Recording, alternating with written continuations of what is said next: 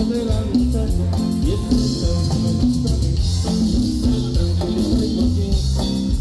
eso no se preocupen todos los